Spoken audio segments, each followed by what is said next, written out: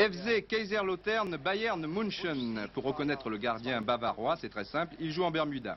Ici, bien entendu, personne n'a oublié Sepp Maier. Ce n'est pas Jungans qui garde les buts du Bayern, mais Müller. Pas celui que vous connaissez, bien évidemment. Dans les buts de Kaiserslautern, le gardien titulaire, à savoir Ronny Hellström, est présent. 57e minute, l'ailier gauche Brummer, qui a devant lui le numéro 8 Breitner.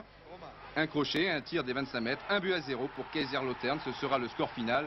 Les ailiers gauches allemands étaient en grande forme lors de ce premier tour de Coupe d'Europe. Reimann a marqué l'unique but d'Hambourg. Karger a réussi le quatrième de Francfort. Volkert, vous l'avez vu, a marqué deux buts. Et là, c'est encore un ailier gauche, Brummer, qui donne la victoire à Kaiserslautern.